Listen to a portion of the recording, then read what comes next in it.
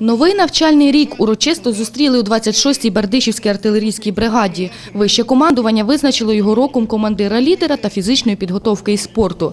Привітати із початком нового навчального сезону до частини прийшли представники міської та районної влади, начальник ракетних військ та артилерії 8-го армійського корпусу Валерій Марцеха та інші гості. Хочеться побажати е, молоді безумовно е, здоров'я, е, успіхів у навчанні. Ми переконані, що як завжди е, результати навчання будуть е, самими високими, бо е, вони е, ці результати мають завдяки е, мудрому е, командуванню, е, завдяки матеріально-технічній базі, е, досвіду, знанням офіцерського складу і безумовно е, бажанню е, цієї прекрасної молоді, яка добровільно виявила бажання е, служити в Збройних силах України. На сьогоднішній день 26-та артбригада є найкращим артилерійським з'єднанням України, зазначив у вітальному слові Валерій Марцеха.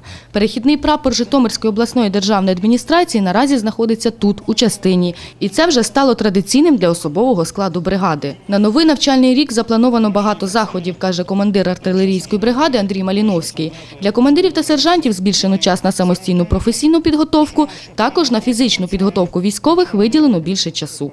Завдяки міській владі особовий склад бригади зможе відвідувати плавальний басейн. з сприянням е, райдержадміністрації. е, Десь е, з 19 грудня ми хочемо розпочати турнір.